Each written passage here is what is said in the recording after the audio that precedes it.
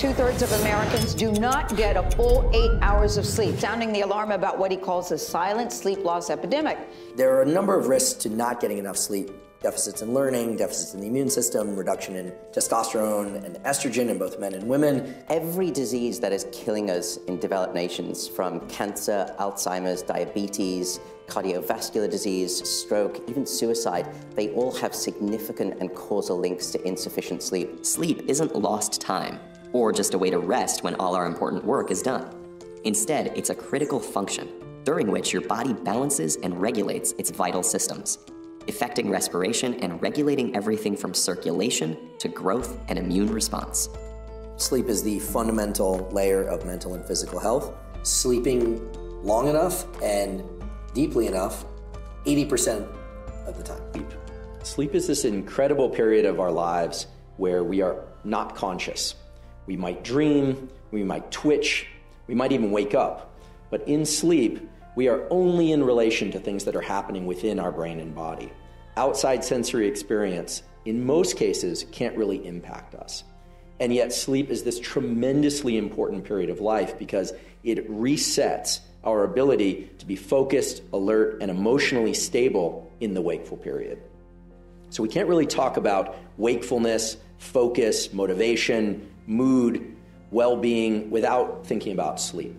And I think there's probably some really good evidence that sleep may have been the proto state, that it was the basic, fundamental living state. And when we became awake, as it were, we always had to return to sleep.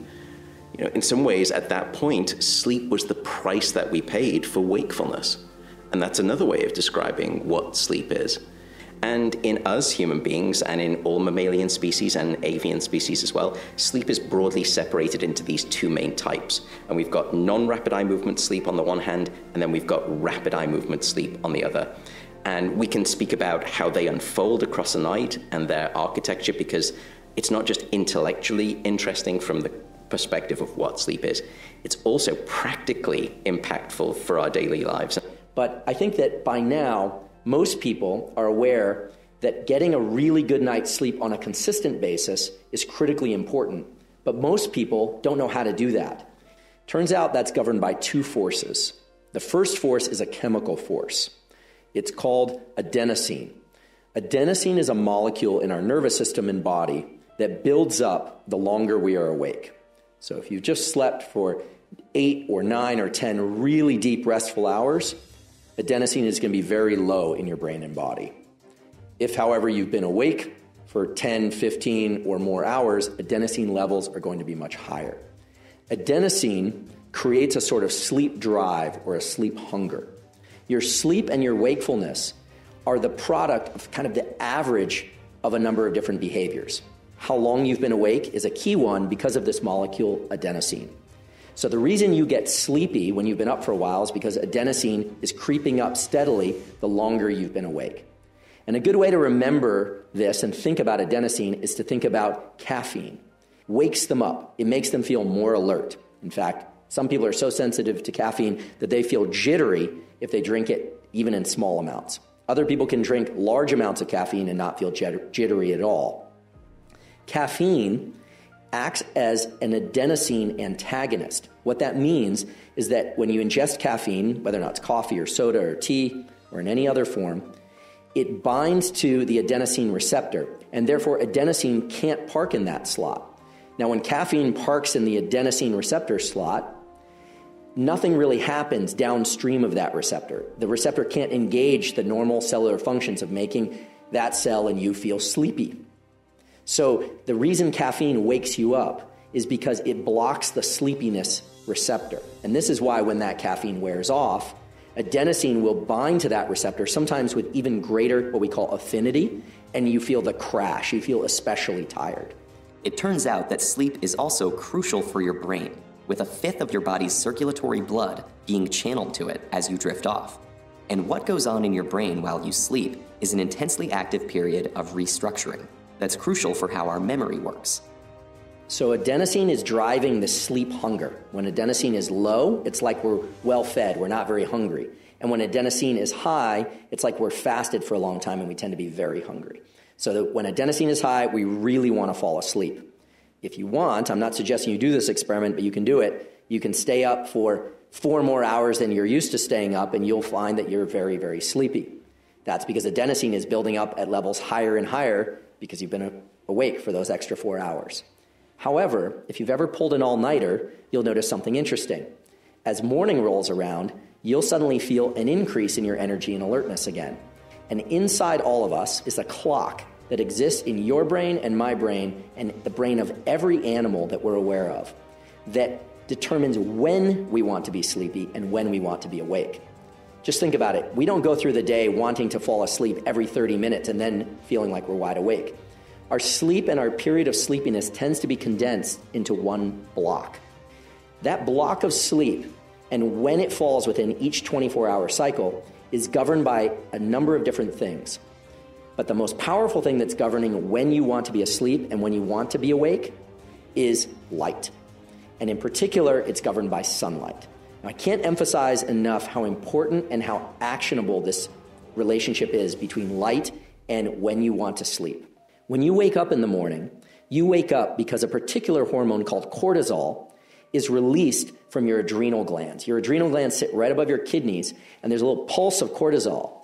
There's also the pulse of some, and when I say a pulse, I just mean the release of a little bit. There's also a pulse of epinephrine, which is adrenaline, from your adrenals and also in your brain, and you feel awake. It's very important that that cortisol pulse come early in the day, or at least early in your period of wakefulness. This is grounded in the core of our physiology. There are literally hundreds, if not thousands, of quality peer reviewed papers showing that light viewing early in the day is the most powerful stimulus for wakefulness throughout the day, and it has a powerful positive impact on your ability to fall and stay asleep at night. So, this is really the foundational power tool for ensuring a great night's sleep and for feeling more awake during the day. Again, sleep is the absolute foundation of your mental health, your physical health, and your performance in all endeavors. So, if there's one area of your life to really focus on and try and optimize, if your goal is to be happier and more productive and just have a better life overall, I can confidently say that sleep is really the thing to optimize. 99% of the human beings never notice that moment when they're slipping from wakefulness to sleep. They will simply go off like that. If they're alert, they cannot sleep. But there is a way to sleep in an alert manner. If you sleep like that, one thing that'll happen to you is your sleep quota, if you're sleeping for eight hours, it'll simply drop to three to four hours just straight away. Now that moment when you're passing from wakefulness to sleep, if you can still be conscious that I'm not the body and I'm not the mind, believe me, something remarkable will happen. Research had taught us that sleep is actually a process where the brain and the body are quite active. During sleep, the brain filters through information that you learned during the day and it stores it in long term memory, process that we call consolidation. To be consistent, so try to go to bed and wake up every day around the same time ready your room so that it's knows your brain knows that it's time for sleep. Make it dark make it quiet. And also some research shows that lowering the temperature of the room can actually help you sleep better. Uh, try to avoid caffeine and alcohol in the hours before you go to sleep and too much fluid intake that'll get you up in the middle of the night. And also put away all sort of stimulating electrical devices phones computers turn off the tv because those can actually really disrupt sleep um, sometimes doing some relaxing exercises, uh, meditation, some light stretching, reading, listening to music, maybe even taking a warm shower or bath tries to prepare the brain for knowing that it's time to sleep. Good sleep actually helps us age slower as well and keeps us healthy through the year.